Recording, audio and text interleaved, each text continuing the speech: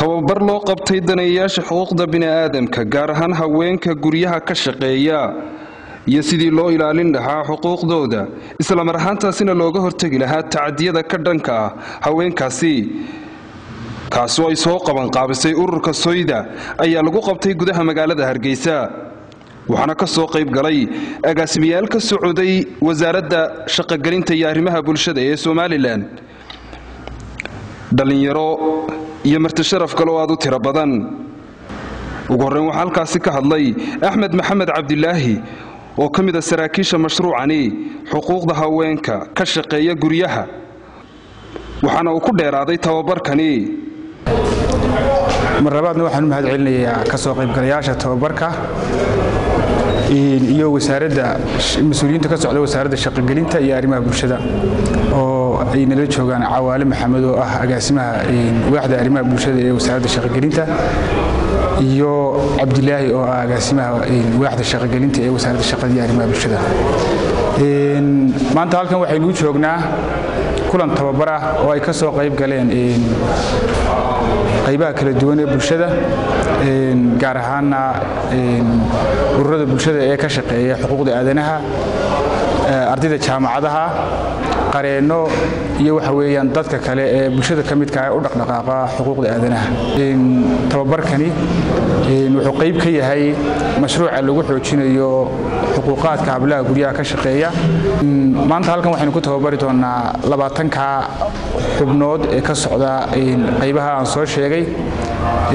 Waxaana lagu tababari doonaa xirfadaha asaasiga ah iyo xirfadaha asaasiga ah la xidhiidha xuquuqda aadanaha gaar ahaanna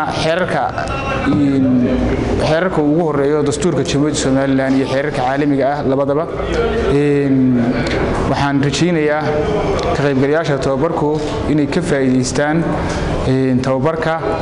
Cawaale maxamed iyo cabdilaahi axmed raabi oo iyaguna ah oo iyaguna ah agaasimayaal ka socday wasaaradda shaqada iyo arrimaha bulshada ee somalilan ayaa ku dheeraaday tababarkani.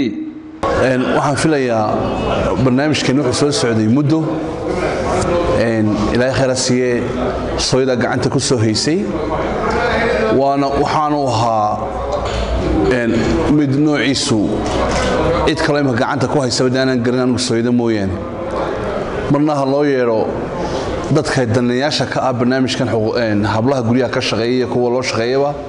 Mar ha noqdaan dumarada gudiyada kala duwan ku jira ee magaalada.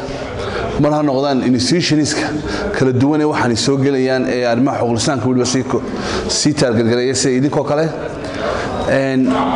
Waxaa muhiim ah uun u wada soconaan waxa weeyaan in dadkeenna kala duwan ee dumarka kala duwan ee guryaha kala duwan u shaqeeya iyo dadka loo shaqeeya ay gaadho sida loogu heelanya mid walba xuquuqdiisa helo.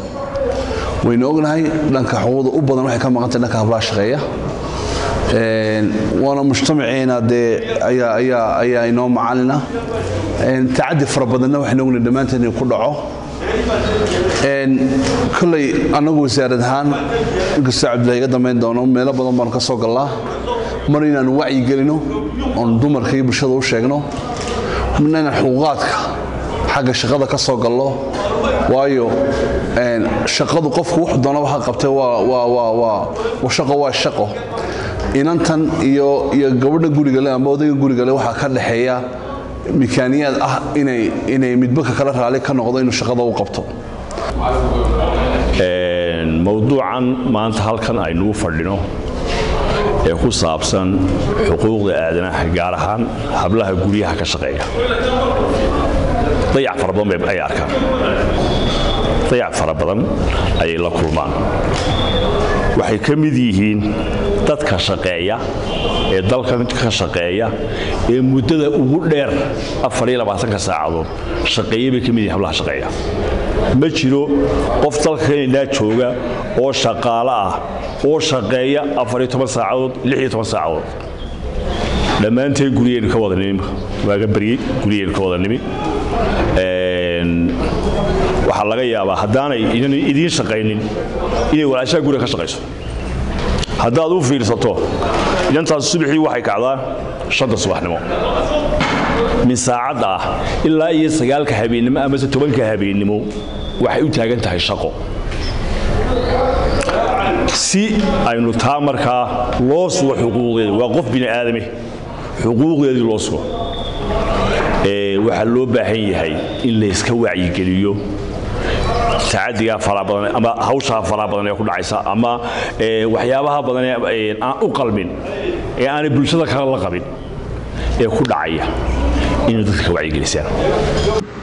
Tababarkan ayaa socon doona muddo laba maalmooda waxaana lagu baran doonaa xuquuqda bini'aadamka gaar ahaan haweenka guryaha ka shaqeeya iyo sidii looga ilaalin lahaa tacadiyo ku dhaca haweenkaasi.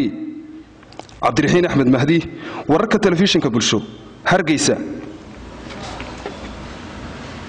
Ma ogtahay macmil in shirkadda somtal ay ku daafurtay wejigii labaad ee abaalmarinta shanta kun ee hadiyado taasi ay ku jiraan toban baabuur oo cusub oo huyundaya mobaylo tallaagado khasaalado tablets dhammaantood baa shirkadda samsung dahab iyo dalxiis hoteelada damal ah ayaa kugu jirta hadiyadaha iyo sidoo kale accounts dahabshiil ah oo ay lacagi kugu jirto. Haddaba si aad uga mid noqotid guulaystayaasha fadlan si joogtaa u isticmaal adeegyada somtel sida ku hadalka internetka iyo adeega casriga ee idahab mar kasta oo aad isticmaashid adeegyada kala duwan ee shirkadda somtel waxaad fursad u helaysaa inay heladaadii asxaabtaada ay kuu codeeyaan bil kastana toddobaadka u dambeeya waxa uu seerfarka somtel uu soo xuli doonaa kontonka macmiil ee ugu codka badan leh ee u gudbi doona wareegga labaad.